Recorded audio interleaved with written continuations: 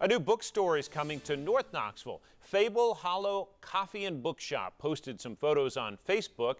The new store will open on Tazewell Pike near the Hardee's in Fountain City. It says the new store will open in the fall.